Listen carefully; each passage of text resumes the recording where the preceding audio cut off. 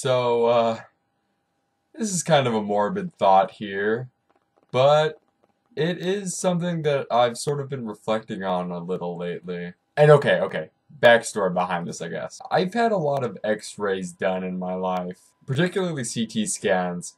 I'd had like three by the time I was 12, all on my head too. So that's kind of a lot of radiation all around my brainal area before I was even fully grown. And now there's, you know, all this news about how the radiation dosage from these scans is, is much larger than science had previously thought. And how they're especially dangerous for kids because, like I mentioned, uh, not fully grown. But also because their cells are just more susceptible to radiation. So now my mom's always worried about this whenever I mention that, like, I got an x-ray of my mouth done when I went to the dentist or something. And she feels all guilty about having me get all these scans done when I was a kid. And so when I went to the doctors recently and they said, oh, we should do a scan to see how your big stupid head is doing. I tell her about it and she says, Oh no, you should eat blueberries and take these pills because I read in a magazine that they help stop cancer and stuff. But you know, I, I, I tell her,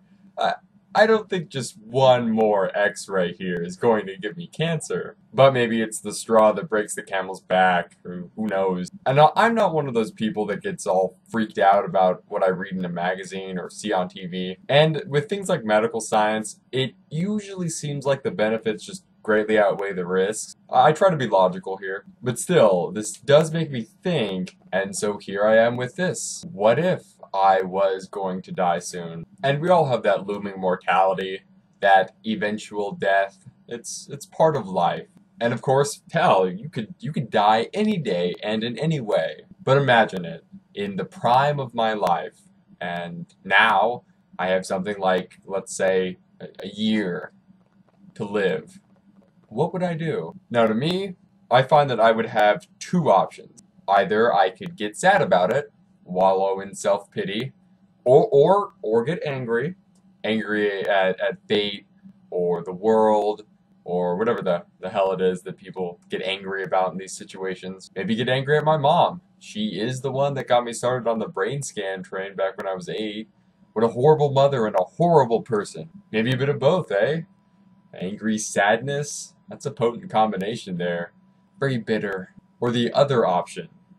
And this is the one that I quite like. I just keep on living.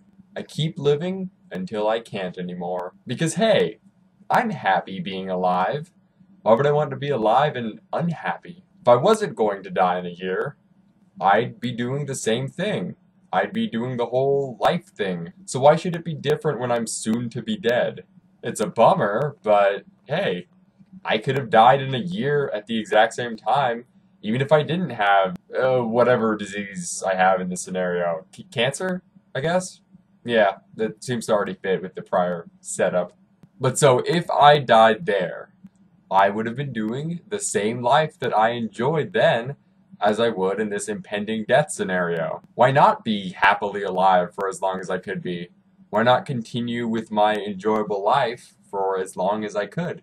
Maybe I'd do some special things if I was lucky enough to have the opportunity. And the opportunity would probably arise because of my circumstances, but still, happy things. Maybe I'd be a little more daring. I don't know about the typical skydiving adventure that always comes up with things like this. But you know it. At least try all the new things that I could before I'm out. And of course, who's to say how I'd react if I was really faced with this situation? Like, right in front of me. Maybe I would get angry or sad about it. But I like to think, I like to hope that I'd stay happy in living. Because above all else, I want to keep doing what I like doing. And I like the simple pleasure of being alive in an interesting world. Nothing quite like it.